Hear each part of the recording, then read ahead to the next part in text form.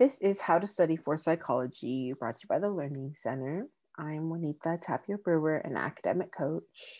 I'm Jeya, and I'm the psychology tutor at the Learning Center.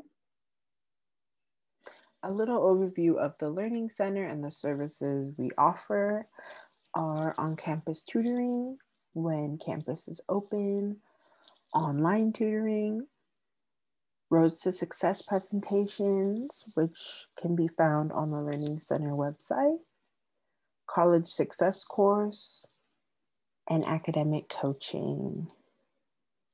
The objectives of today's presentation is by the end of this workshop, you should be able to understand the importance of the study cycle in relation to learning, to identify specific active learning strategies applicable to your specific area of study and feel prepared to apply these strategies to your own coursework. So the study cycle is something that we're going to be going through today and it has five steps. Those five steps are preview, attend, review, study, and assess. So the first step is preview, and that means to pre-read material before class skim the chapters, review summaries and chapter objectives, write down any questions you want to be answered in class. And it's always important to check your syllabus to see what materials will be covered that week in class. Why do we do this? Well, you'll be you'll be much better prepared to learn new concepts when they come up if you have already introduced them to your brain once before. So for psychology specifically, this might uh, be skimming any readings or handouts that your professor assigned or recommended. Also, um, looking through notes from previous lectures, um, skimming the textbooks and articles for a quick refresh. And in the beginning of the term, I also like to check the syllabus and just write down everything on my planner so I know when things are due but throughout the term, I also like to check my syllabus to make sure that I'm on the right track and that I know what I need to be working towards. The next step in the study cycle is to attend, attend class. Go to class, ask questions, participate in discussions and activities. Right now, some specific remote learning tips are Turn your camera on and choose speaker view to stay engaged. Use the chat or raise hand function for questions. And this is important because it can be hard to stay engaged over Zoom, but actively engaging with the material being discussed will help with understanding and retaining the material. So for psychology, um, you I know there will be a lot of reading material and um, a lot of information presented in the lecture. So it's important that you attend lecture and you might write that in your planner to schedule down the time that you'll be attending for the lecture to remind yourself. The next step in the study cycle is to review. Try to review the material within 24 hours reread and rework your notes if necessary, identify any gaps in comprehension, make note of any lingering questions.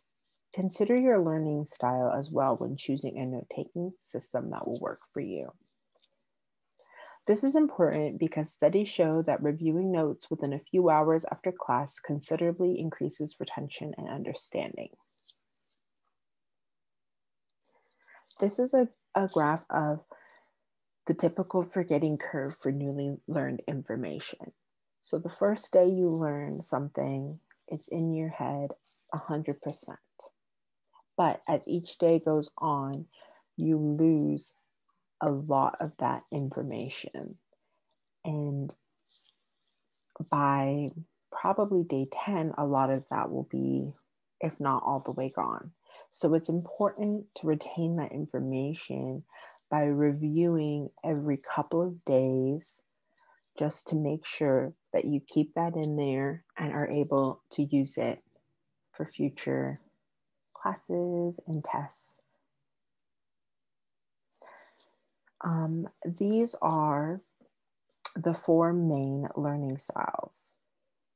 And it's important to know your learning style so you can know which way to best study. So, the first learning style is visual graphic.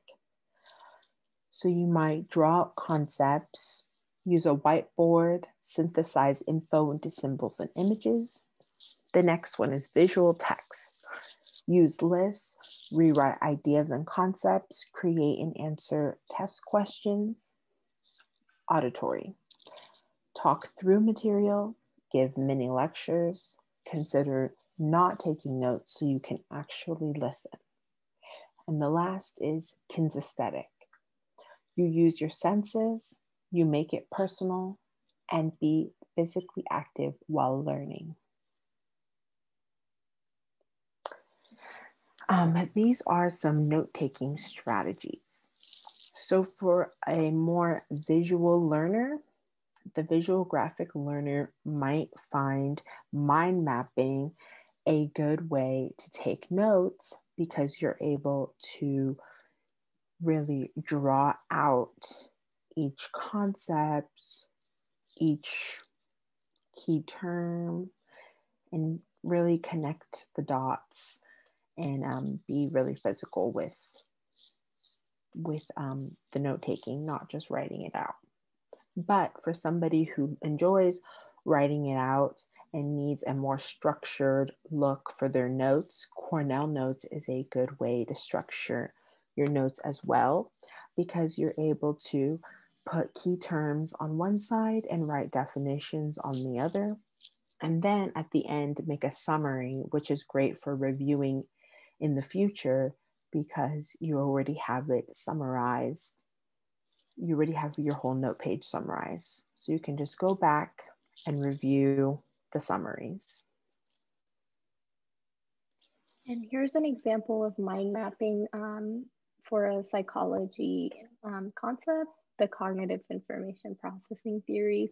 So as you can see that um, just by looking at this mind mapping, you're able to see that memory and executive process are part of it, and those subdivide into different other terminologies and phenomena. So uh, mind mapping is my favorite way for psychology to take notes just because there's a lot of vocab words and it helps me tie all those vocab words into the bigger main concept. So the next step in the study cycle is to study. Try to make any passive strategies into active ones. And those are important because repetition is key. And also, taking practice tests is an active way to study, and using provided study guides or making your own.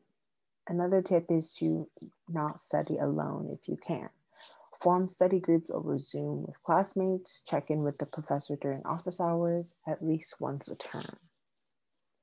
And this is important because exams are focused on output.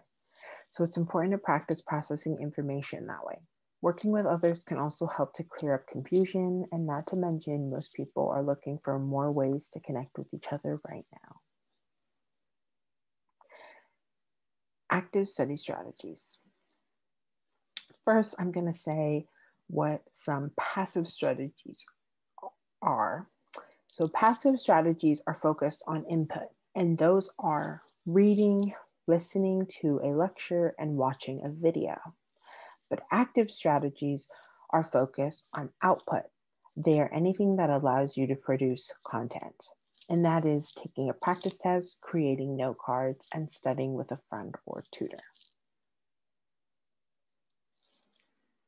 For psychology, I especially like to make flashcards for the vocabulary terms and quiz myself um, throughout the week, not just once and putting it aside because like the learning curve that we looked at, it's easy to retain information right when you learn it, but then uh, we tend to forget that information as the day goes by.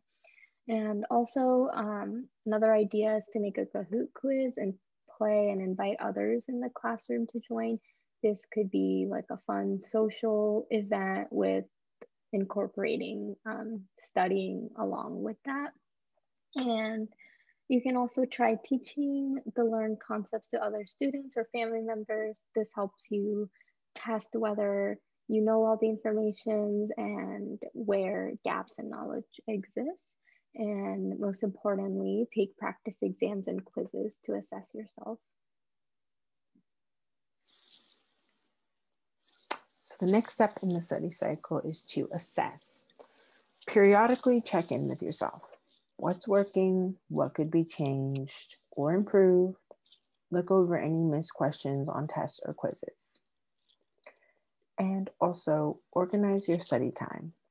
Reflect on your system for self management. Consider structuring study, set, study sessions.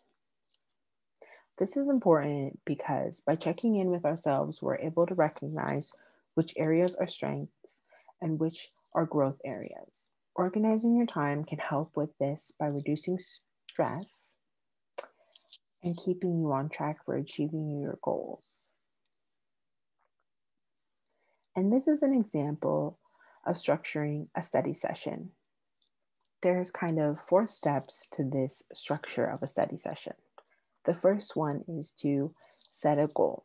For one to two minutes before studying, decide what you want to accomplish in this study session. For example, how many pages or chapters do you want to read? How many problems do you have to answer? And then the next step is to study with focus. For 30 to 50 minutes, really interact with the material in active ways. Use your active study strategies. And the third step is to reward yourself. For 10 to 15 minutes, take a break. And that could be taking a walk, grabbing a snack, grabbing a coffee, and just stepping away from your computer or study space. And the final step is to review five minutes, just go over what you just studied, and then return to your goal. Did you accomplish your goal? Why or why not? For psychology, I like to start the study session with a plan of action. So, what are the assignments that you need to work on? Is there an upcoming quiz to study for? And what you need to prioritize at this moment. And then um, taking notes, making note cards or um, creating a Quizlet to actively study and engage with the coursework is important. And review the work that you just did. And don't forget to reward yourself with a break. So, what we just went over in this presentation was the study cycle. Step one was preview, step two was attend, step three was review, step four was study, and step five was assess. If you want more support, you're always welcome to meet with an academic coach or tutor, and we can help with self management, study strategies, motivation, and more. To book an academic coaching appointment, you can visit our website on the Learning Center at the Learning Center and read our coaches' bios. And you can schedule a coaching session using the coach's individual You Can Book Me links.